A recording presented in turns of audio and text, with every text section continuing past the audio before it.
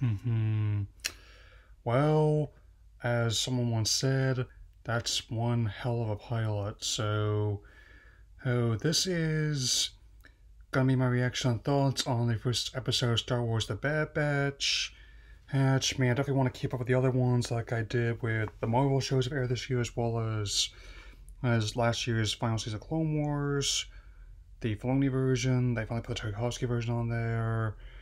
Here, here, so, oh, it's the title's fitting and has multiple meanings to deal with uh, the fallout from the end of the Clone Wars, beginning of the Galactic Civil War, as well as the as in general the fall of the Republic and the rise of the Empire, with had not just the Separatist alliance falling and the the clones now potentially being replaced by a high conscripted forces of the Empire, as per request of Admiral Tarkin before he gets promoted to Grand Moff.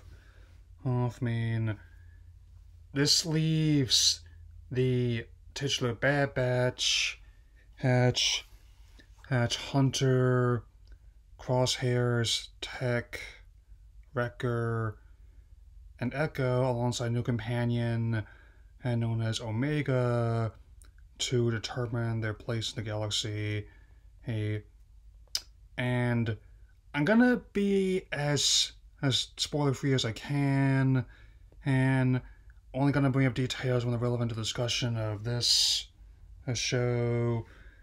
And this is actually one of several little bits of content they've dropped on this May the 4th, with more still in development to come, both theatrically and and on Disney Plus. So I guess we'll definitely see how that goes.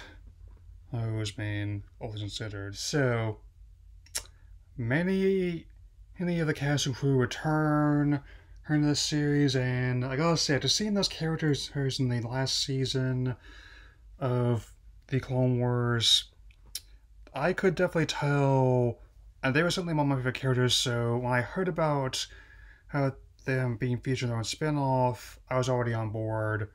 Or I mean just the prospect and I definitely was expecting like, this premiere to be feature length I mean being about 75 minutes long on at least these three episodes of show worth, man, and I must say it does a good job of setting up the new status quo, oh, and the conflict at hand, how it's only driven a wedge between Hayne, Hayne, their, him and their leaders, but also each other, I mean, I mean, especially interested to see how how this dynamic plays out over the course of the series, since this is going to see like the first five episodes this month. I mean, I didn't look up how long the season would be, but using the final season kind of the Clone Wars a yardstick, given how it's already planting the seeds, seeds of the events that happened in Rebels, also the sequel trilogy and Resistance to a few, and also in Rogue One. I mean, it'll definitely be interesting how, how it plays out, given how it's already rife with with Easter eggs that, as a longtime fan, like we could understand, and but even someone who's relatively new to the series could instinctively understand, and that's that with the change is happening, given how this already is running parallel to the events of Revenge of the Sith and right before the events of New Hope as well. Hell, the 19 years before the events of New Hope. So it's definitely a a a story that can go back to, oh, and keep building upon. I mean, I'm one of those rare people that has not seen a main from this light, but that's, there have been other spin-offs that have been better than others. I mean, they also put those insane Ewok ones they did and I mean, I can only imagine if they're doing that today, they'd probably be using Grogu or the Porg, something kind of like that. I mean, that's so.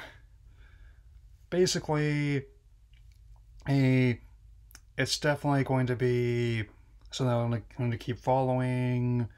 Hayne, Hayne, and don't worry, it's not going to affect my other videos. Hers for her in the near future, especially not for this month. I'm still already got my next Pocket Monday heading for the over 25th anniversary in mind. I'm next on the Moon vlog, and definitely will I still will have my first impressions of new Pokemon Snap uh, by before this week is out, and I will definitely talk to you all later. Mm.